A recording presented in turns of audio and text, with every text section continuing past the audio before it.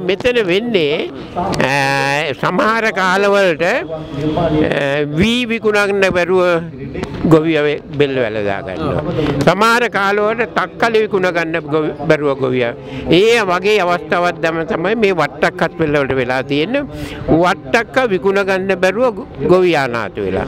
හැබැයි මේ එක තැනකවත් මං බැලුවේ අපේ රටට ආවේනික වට්ටක්ක නැහැ. මොකද ඒක මේ කන්නේ බලදාව ලබන කන්නේ වෙනකන් තියාගන්න පුළුවන් ඒ වට්ටක්ක.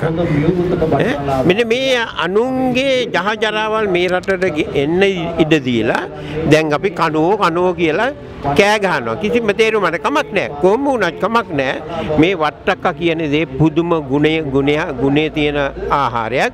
හැබැයි මේවයි ඇට පොතු මදේ විතර ගුණ නෑ වෙන කිසි දෙයක්. අපි හිතන්නේ මේ වට්ටක්ක මස විතරයි කියලා මස නෙවෙයි අනිත් අපි අහක දාන්නේවා තමයි අපිට අහක දාන්නේ ඒවා හැබැයි පිට රටින් අපි ගෙන්නනවා සල්ලි දීලා. ඇට පිට රටින් ගෙන්නනවා. ඒක නිසා මේ වට්ටක්ක බොහොම හොඳ අවස්ථාවක් අපේ දරුවන්ට වට්ටක්ක සුසේජ් වට්ටක්ක කට්ලට් වට්ටක්ක ජූස් වට්ටක්ක අතුරුපස හදන්න බැරි දෙයක් නෑ මේ වට්ටක්කවලින්. ඒ දැනුව අපිට දෙන්න පුළ නිකම්. හැබැයි ගන්න කෙනෙක් නෑ. කිසිම මාධ්‍යයක් නෑ. මේක තමයි ලොකුම ප්‍රශ්නය. වට්ටක සුප් කියන්නේ මේ ලෝකේ හැමත හැමතැනම තියෙන දෙයක්.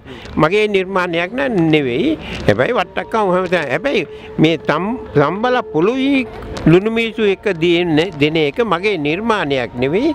අතීතයේ මං සිහි ගැනීමක්. 1940 ඉඳලා 50 වෙනකන් මාසෙට දවස් පහ වේල් 10ක් විතර කන්න දෙයක් නැතුව වට්ටක්කයි පොළුයි කෑවේ. අන්න ඒ සිහිවීමක් තමයි මම මේ මෙතන පෙන්වන්නේ. හරි බොහොම ස්තුතියි.